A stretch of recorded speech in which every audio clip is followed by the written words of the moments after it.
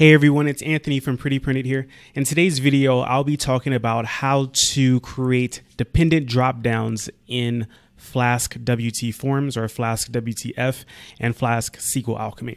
So what I mean by dependent drop down is simply that one drop down controls the options and another drop down. So in the example that I'm going to create, I'm going to have a state drop down. So you'll be able to choose a state, let's say California.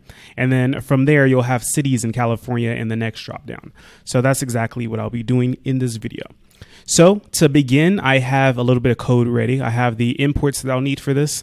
I have my database configuration, the secret key configuration, and I also have my database model. So if I just go into the table that I have, so test.db and then look at the tables. I see there's one table, the city table. And if I select star from city, I see four cities uh, Las Vegas and Reno, which are both in the state of Nevada. And then I have Los Angeles and San Diego in the state of California. In a real example, you'd probably have a table for the states as well, but this is just a bare bones example to get you started. I don't want to build out a, a fully featured one but this should give you an idea of how to approach this and you should be able to apply it to any dependent dropdown that you want. So this is going to involve using a little bit of JavaScript and fetch, and we'll see how it works in just a moment. So the first thing that I want to do is I want to create a form.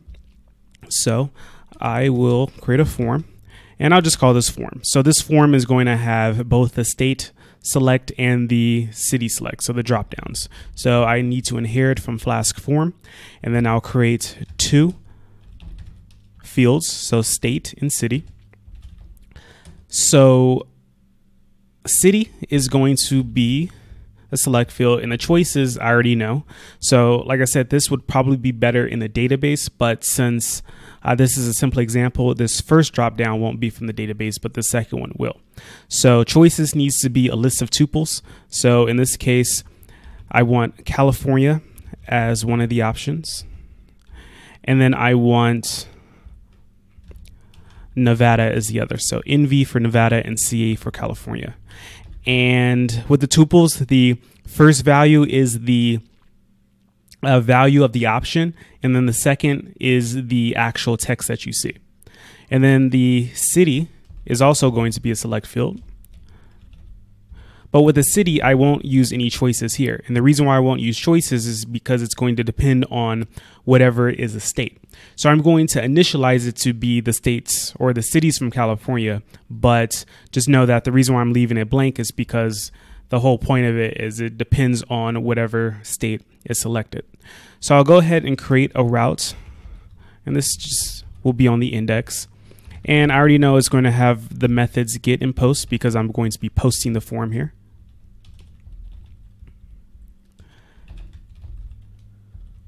And then what I'll do is I'll instantiate the form. So form equals form. And then what I want to do is I want to fill in the choices for the city. So like I said, I want to initialize this to be the cities in California because that's my first choice. So what I'm going to do is I'm going to use form.city.choices.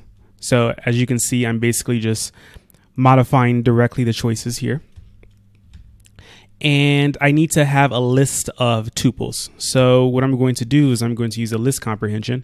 And the first part I'll write is the query to get the data. So it's going to be city.query.filter by, and then I want to filter by the state equals CA. So as you saw from my database, uh, I closed it already, but as you saw from my database, I have the two letter code for the state column. So it can either be CA or NV in this case. I'm using CA and I want to get all the results. So this is the query that I'll be using.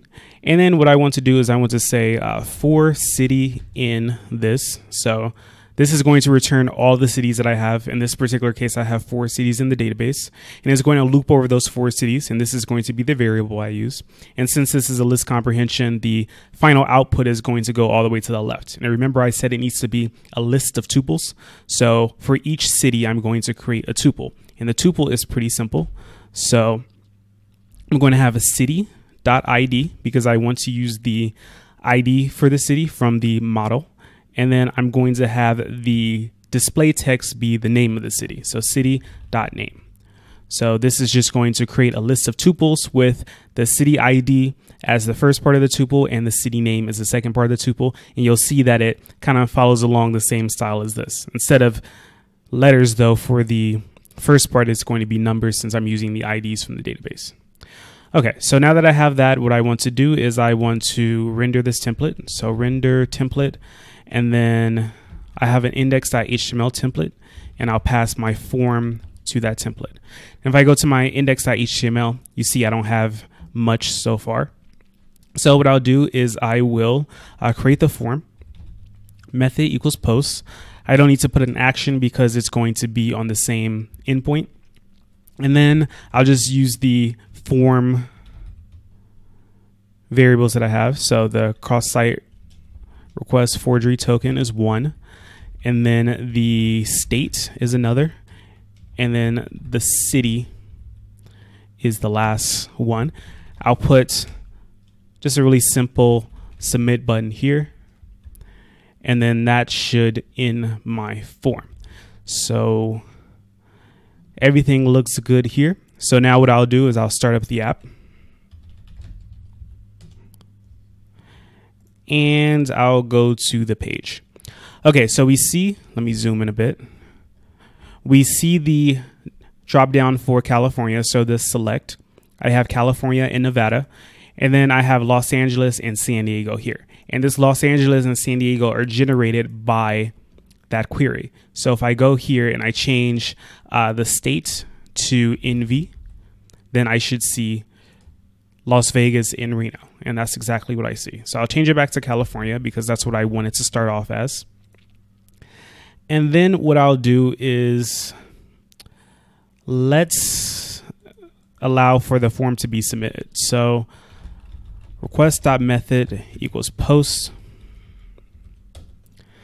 And what I'm going to do is I'm simply going to return uh, some text for the state and the city. So return, I'll use a h1 tag. So the state is going to be blank. And then the city, so city is going to be blank. And then I'll format this with uh, form, state, data, since it's the only representation of a state that I have. And for the second part here, I'll create a new variable called city that's going to have the city name. And I'm going to get that city name from the ID that is passed through the city dropdown. So city equals city.query.filter uh, by ID equals form city data, and then give me the first result. So let's see if that works as expected. So California, Los Angeles, let's say I change this to San Diego and I hit submit query. I see state, CA, city, San Diego. Okay, so that's almost, well, that's everything we need for the form itself. But of course, when I change states, I don't have an updated list of cities. So like Nevada and then Los Angeles, as far as I know, there is no Los Angeles in Nevada. So the important part of this is how do I get the code for switching this up. So there are two things that I need to do. I need to write some JavaScript to request for the additional cities and then update that list with the new cities. And I also need to create a route in Flask to give me those cities. So I'll start with the route first. So I'll create a new route. I'll call this city and I'll allow it to take a variable. So the variable in this case is going to be a state. So anytime you are passing a variable through the URL, you have to use a parameter in the route function. And what I want to do is I want to basically query the database for all the cities that I have for the particular state that's passed in. And then I want to pass those cities back to whatever is calling this. So I'm going to first query for the cities. So I'll say cities equals city.query filter by and then state is going to be equal to state. And then I want all the results. So if I pass in Nevada here, it's going to give me all the cities in Nevada. So Reno and Las Vegas. If I pass in California, CA, it's going to give me Los Angeles and San Diego again. So now for each city, I'm going to do a little bit of processing and then I'm going to append it to a master list. So I'll call this master list city array. and it's going to be initialized as blank. And then what I'm going to do is loop over the cities that I got from the query. So for city in cities, what I want to do is create a new city object for each city. So I'll create a, something called like city object like that. It's going to be a dictionary. And then I'm going to add the ID and the name to that object. So ID for the city is city.id. And then the name for the city is going to be city.name. And once again, this is just from my city model. And then I'm going to append this city object to my master city array. So city array. And I'm calling it an array because I'll be using it in JavaScript and same for object. So it's actually a list, but um, I'm thinking JavaScript right now. But you know, they're equivalent. A list and an array are equivalent. So I'll pass in city object just like that to append. So for each city, it's just going to append onto this city array. And then finally, I'll return a JSONified version of this. Uh, I need to pass a dictionary, and I want the dictionary to be cities. And then I'll pass in that city array, just like that. So now I'll go to this endpoint directly. So slash city slash nv. And I see I have two cities here. The ID for Las Vegas is one, the ID for Reno is two. If I change Nevada NV to CA for California. I see I have Los Angeles and San Diego here. So ID 3 for Los Angeles and ID 4 for San Diego. So that's all I have to do on the Flask side of things. And the reason why I created that is because I need to basically call that route every time the select for the state changes. And to know that it changed, I have to use some JavaScript to basically um, put a listener on that drop down. So I'll create script tags here. I'm just going to put everything in one file. And the first thing I want to do is I want to get the actual objects for the state select and the city select. So uh, I'll create two variables. So state select is going to be equal to document, um, let's see, get element by ID and then state. And then I'll do the same for the city select and I just need to get these two because I need a way to modify them. So, like I said, I want to trigger the change on the, so I'll go back. I want to trigger the change of these options whenever I change this option. So whenever I change the state dropdown, I want the cities to update. So to do that, I'm going to put an on change listener on the state select. So state select on change and I'll create a function to handle this. And then inside the function, what I'm going to do is I'm first going to get the value of the state. So state equals state select dot value. And what I'll do is I'll alert the state so we can see that it appears correct. So I'll refresh the page. And then now that I have the on change event, every time I change it, I get the alert. I see NV is here. If I change it back to California, I get CA. So I know the on change is working and I know I can actually get the value of the select box. So once I have the value of it, so I know which state they just selected, I want to fetch the cities for that state. So to do that, I'll use fetch and I just pass in the endpoint. So in this particular case, it's city and then there's a variable part to it. So state. So this is the same city that I just created here. So city slash state is a variable, and here's just the JavaScript equivalent. So then this is just uh, getting the response for calling that particular endpoint. And inside of here, what I can do is I can convert the response. So this is a response object, so it's not the data that I want yet, but I can transform that data into a JSON object. So response.json, and then then again. And then this anonymous function is going to take in the data, um, and that's going to represent the JSON version of the response. So what I'll do is I will alert the data so we can see it.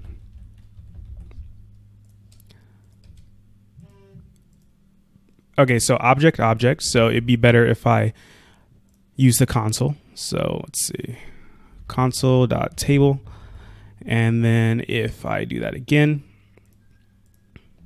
I see down here, it's a little hard to see, but uh, inside of cities, I have Las Vegas as one and Reno as two. So I switch it to Nevada. If I change it back to California, then down here I see Los Angeles and San Diego there.